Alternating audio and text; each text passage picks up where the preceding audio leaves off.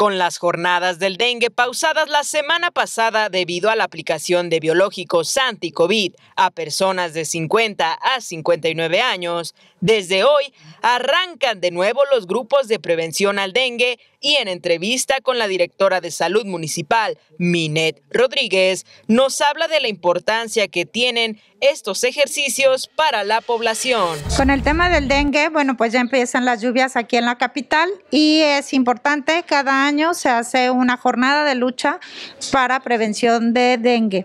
Hay diferentes líneas de acción. Una que se está llevando a cabo son las nebulizaciones.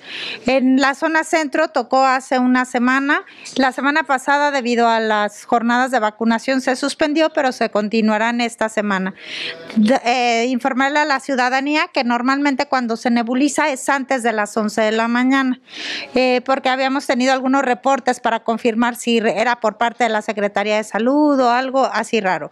La otra, en la página del municipio estaremos publicando para coordinarnos también con la jurisdicción sanitaria las colonias y las comunidades que estarán visitando los verificadores para que les permitan la entrada y para que evitar esta cuestión de que si son realmente eh, personal de la Secretaría de Salud o no, se puede ahí estar viendo las colonias que tocan en esa semana. En relación a los encargados de llevar a cabo estas jornadas, la directora de salud dejó claro los horarios de visita, así como las funciones que tienen designadas específicamente en cada espacio, con su debido uniforme e identificación, por lo que si en algún lugar son detectadas personas que quieran hacerse pasar por personal antidengue, lo primero es negarles el acceso y llamar a la policía.